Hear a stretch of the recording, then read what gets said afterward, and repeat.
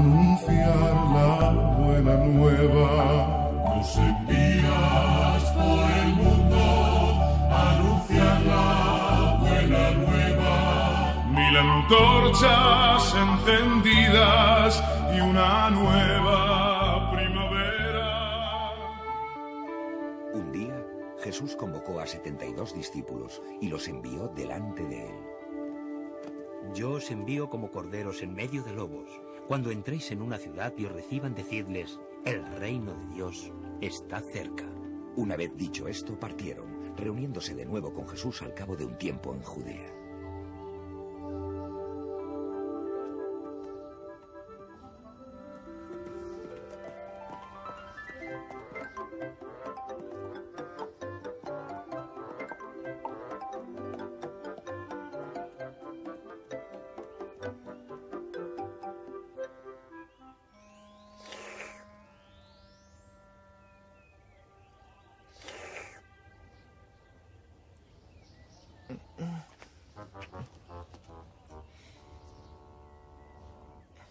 Basta, Camet. No seas burro. Te he dicho mil veces que no me lamas con esa lenguaza.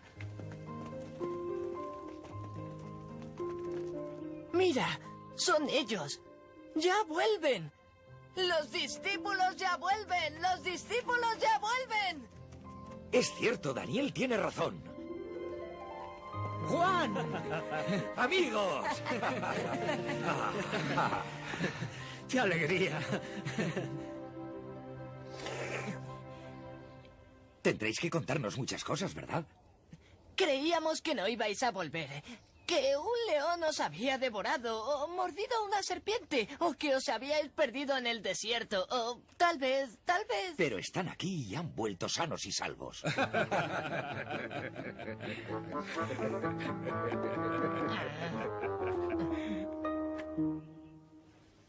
Hemos recorrido todas las aldeas, todas las ciudades a donde nos has enviado. Por donde hemos ido, la gente se alegraba por el anuncio de tu palabra, maestro. Hasta los demonios nos obedecían cuando invocábamos tu nombre.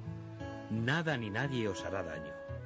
Pero no os alegréis porque los espíritus malvados os obedezcan, sino porque vuestros nombres están escritos en el cielo. Jesús, también mi nombre está escrito en el cielo. Dímelo, quiero saberlo.